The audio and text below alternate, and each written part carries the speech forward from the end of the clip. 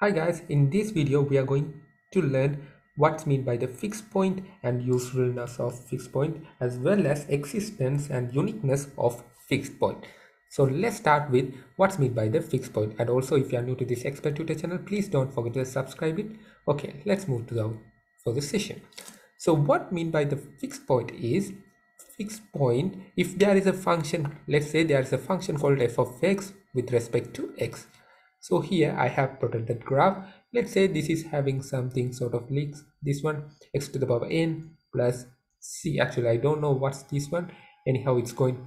This graph is definitely not going to be like this but for this just an example let's take it like this. There is a graph which is going to be equals to xn plus c.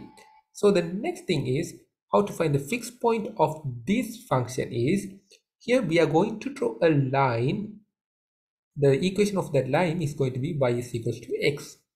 So if this line, which is y is equals to x, cut down in any point in that function of x, that point is known as fixed point. So this is the graphical explanation of fixed point. So always remember, if there is a function and if you draw y is equals to x graph and if those two functions meet at any point even at at least for one point we are going to call as fixed point. So how why we need to find this fixed point is for the iteration purposes if you need to find an approximation you can use this fixed point iteration method which we are going to learn in the later videos. And also now that's the usefulness of that fixed point. And now let's see. Well, how to prove the existence of fixed point? If you have given some graph like this xn plus c how to find whether this is this graph is having a fixed point? Because sometimes let's say there's a graph. So sorry for that. Yeah let's say there's a graph like this over here. So if that graph like this definitely it's not going to have a fixed point so it's essential we need to find out whether it's the graph is going to have a fixed point or not. So let's start with that. So how to find the whether it's having a fixed point. So existence of fixed point. So it's very simple. Let's say there's a function called f of x or g of x. Let's say is g of x and it should be continuous from A to B. So that's the first condition it need to satisfy. Here the A to B is some points in X which means the, inside this A to B interval that point fixed point we are going to check whether that fixed point is exists between the interval of A to B. So if you take the interval from this as A and here as B, definitely it should be continuous from this point up to this point. So it purely dependent on the interval also. If you take the point from this to this, let's say this is C to D, if you consider up to this interval, definitely you are going to get the answer. There are no fixed points in this.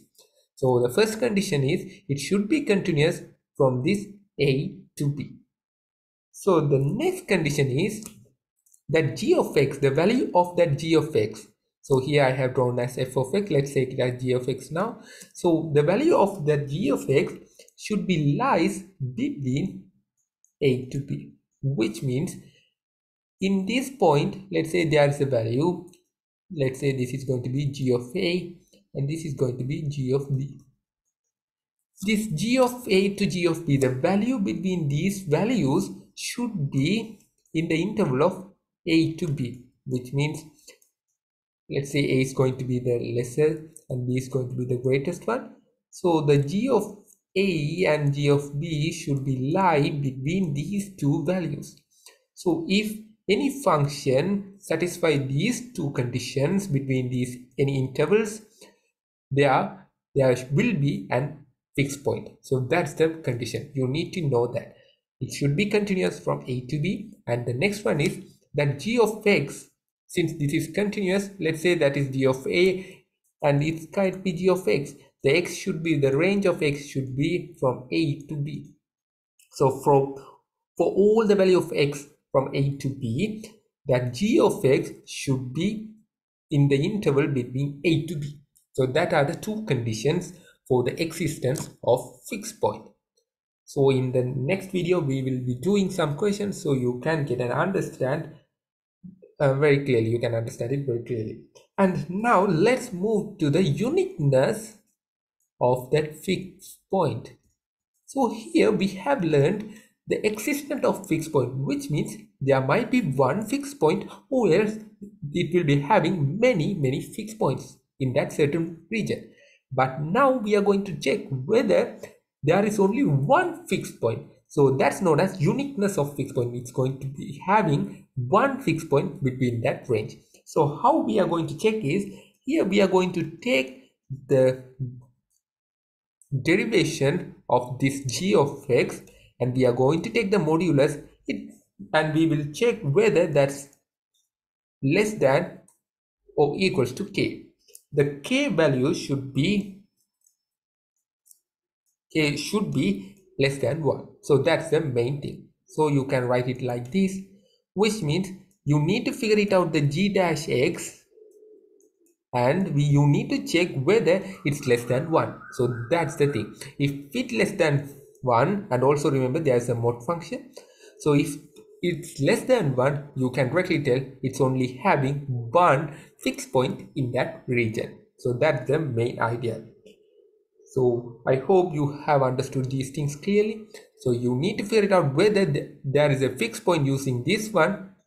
So this is the you need to check the existence after that only you need you can check whether it's having only one fixed point or else it's going to have many fixed points. For that you can do this test uniqueness of fixed point. If that g dash x the modulus of g dash x is less than 1 less than or equals to 1 you can check. And also here also we are going to take the g dash of x within the range of a to b. So within the whole range you need to check the g dash of x and you need to prove that for the whole range of g dash of x the modulus function should be less than or equals to 1 so if you prove these two you can tell there's going to be only one fixed point between the range from a to b. I hope you have understood. In the next video we can learn another uh, interesting question from fixed point. Thank you for watching